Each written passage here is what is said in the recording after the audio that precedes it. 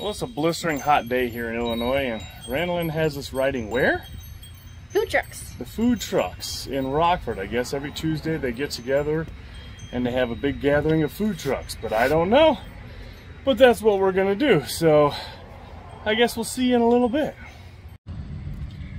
So in a weird turn of events, I had to come to the police station here in Rockford. Um, going down the road, some guy decided to hit my motorcycle. Don't worry, I am okay. I did not fall over or anything, but his mirror hit right here on my mirror, if you can see the damage. And then on my grip right there, he took a little piece out. He uh, decided he didn't want to wait behind two motorcycles and tried passing in a one lane and ended up sideswiping me. I uh, came to the police department, filed a hit and run report, and I have his tag number, and I believe he's a lawyer because he was at the courthouse. So I found his vehicle. I tried filing a report there, but they said I had to come to the Rockford PD versus the sheriff's. So Rockford Police District 1, all kinds of fun. Now we're gonna go to the uh, food trucks because Randolyn had to go somewhere else. She didn't want to be here, so I'll see you in a minute. I left the police station. Now I'm just waiting for Randolyn to meet up with me. She uh, went to the pet store to get something, I don't know. Because uh, she, like I said, she didn't want to be around for the police because, yeah, never dealing with the police is never fun, unfortunately. And the one time I don't have my camera on, something happens. Gotta love that because I love video footage of people doing things they're not supposed to. So uh, yeah, I'm waiting for Randolyn and as soon as she meets up, we're gonna head over to the food trucks and get some good stuff to eat. We made it to our destination. We're at Sinnissippi Park or Sinnissippi Gardens. Um, there's a couple of food trucks here and somebody left a beautiful little pair of flip-flops or sandals whatever those are. And look at those clouds. It's starting to rain a little bit. I think we're gonna get soaked. Gotta love the summer when the heat kicks up and all that stuff kicks in because man, that's gonna suck if we get wet. It is what it is, so we're gonna go find a food truck to eat at. There's uh, like three or four here, I'm not even sure. But yeah, yeah, it's gonna be fun. Well, so far, they have one thing that has hot dogs and brats, one that only has steak tacos, which Randolyn won't eat, another place that only sells churros. So now we gotta go all the way over here on the other side of Sinnissippi uh, Gardens to see what these guys have and hopefully they have some good food because so far I'm pretty disappointed and I think it's gonna rain. I mean look at that. We're gonna get wet. All right let's see what they got. Hopefully we can find some good food. I'm hungry.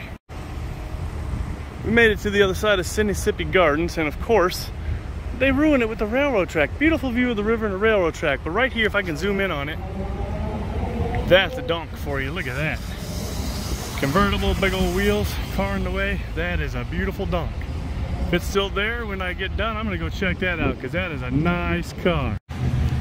A trolley I've never seen that before. That's different. Just riding on down the way. Isn't that cool? I didn't even know Rockford had that. Usually I see regular trains come through here. Never seen this. That's pretty cool. I might have to go snag a ride because I'm lazy I know you guys can't see it, but uh, started raining on us, so it's uh, hitting pretty heavy. You can see over here a little bit. It's a pretty bad downpour. Hopefully it doesn't last long because I don't want to get any more wet than I am. I'm already soaked through with sweat because I wore a leather vest in 93 degree heat. Man, I'm a smart feller. So we are under a severe thunderstorm warning and tornado watch. You can't see how green the sky is in the camera, but we have to ride home about 30 miles. Yeah, and we're heading into the storm. So I'm gonna put my camera on and you guys can see what it's like to get caught in the rain. It sucks, but thank God for helmets so my face doesn't get pelted.